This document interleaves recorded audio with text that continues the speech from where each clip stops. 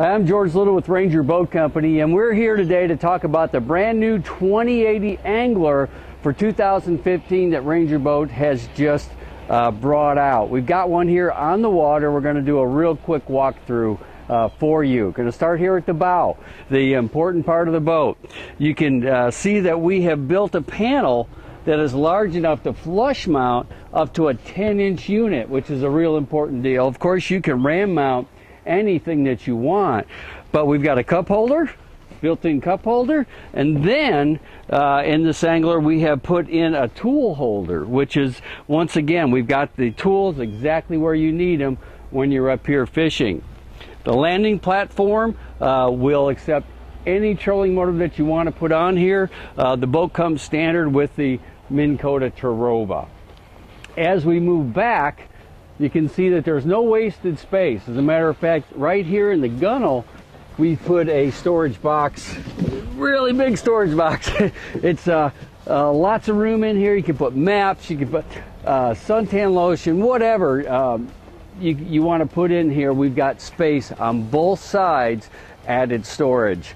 Then here on the port side front, we've got a huge storage box. You can see how much stuff that we've got put in here. But this area also is where you'll find your battery charger, your built-in battery charger, that standard equipment. All you need to do is plug in your battery charger at the end of the day, walk away from your boat all night, next day you're ready to go.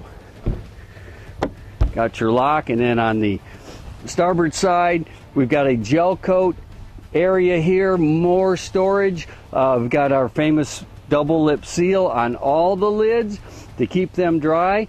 Now this one can also be used as a cooler if you don't want to use it as storage. Go one back. Bait well. Bait well. And we've configured this. We put the part in here to configure it to hold the, the, the net or the bait bucket. Um, that's what we've done here with, uh, with that circle. But if you want to pull that out, just use this as a small live well, you certainly can, but you have a front live well, bait well up here, so uh, you don't have to go all the way to the back to get your minnows. Then, the real selling feature of this boat is the Pro Rod Locker.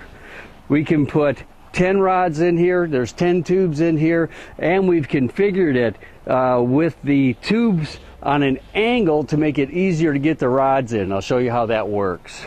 Now you can see that the, the bulkhead is actually on an angle. And if you think about that, it makes it a lot easier to put your rod in because it's at an angle and when you put your rod in, it's easily easier to get it in that tube.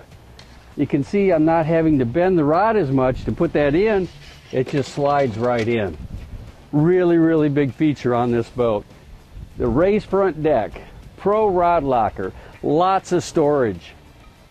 We can put the 10 inch units on there. You've got tool holders, you've got side storage. From the consoles forward, this is a winner. Okay, now let's get to the console. We're in a 2080 Angler, and you've got lots and lots of space that all the Rangers are known for. Uh, you've got a 12-inch slide on the seat, so it'll accept you know uh, anybody of whatever length of legs that you have. You can see here uh, we've got a 9-inch unit, but you can put up to a 12-inch unit right here, flush mount in the dash. But we've also built this with a flat spot so you can ram mount and uh, you, having two locators on this on this dash is no problem. All the gauges are, are right here on your right hand side so they're very very easy to see. Hydraulic steering um, is standard um, on all the ranger boats. So uh, we are really really excited about what we've done here configuring the dash.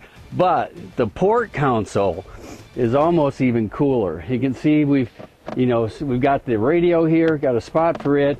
We've got a glove box with tons of room, but in here you've got your spot for your your iPod. You've got U, uh, USB uh, plug-in uh, for the radio right there inside the glove box. This is what really makes this boat special. We've got tons of storage. I showed you everything in the front, all the storage we have in the front.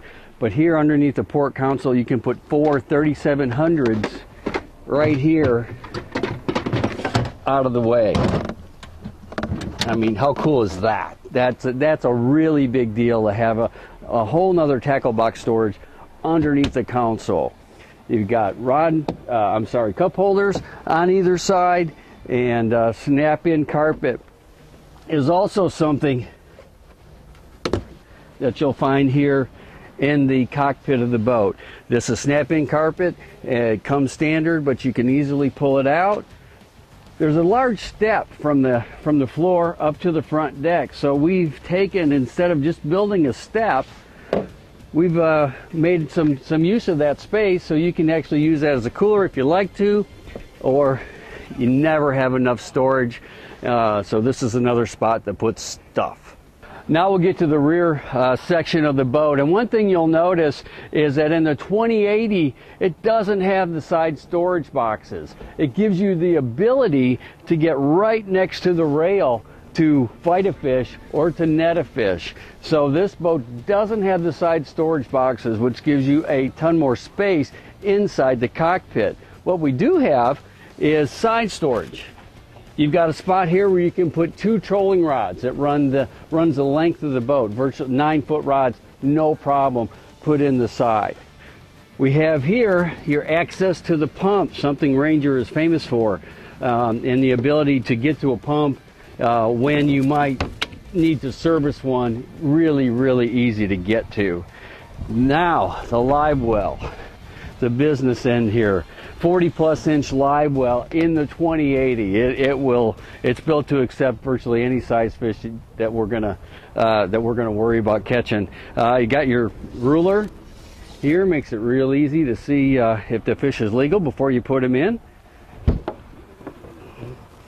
And then this boat is is set up with the optional ski pole. You can see you've got a seat base here and the, the, the hole behind that is for the ski pylon. It's just a one single ski pylon that will go in there. It's not a tripod with arms off of it. It's just one pole that sits down in there. Really, really great feature when you want to use your angler for more than just fishing. We have more storage on either side of the live well. We got your starting battery in here. On the other side, it's a completely open box.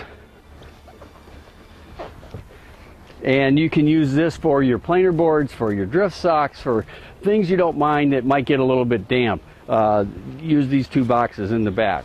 You can see, even though we don't have the side storage boxes, we have done uh, a lot of work in building this boat so it still has plenty of storage. Lots of rod storage, rod storage in the side, uh, tackle box storage under the console. Um, we're not losing anything here by these not having these boxes, but you're gaining a ton of floor space.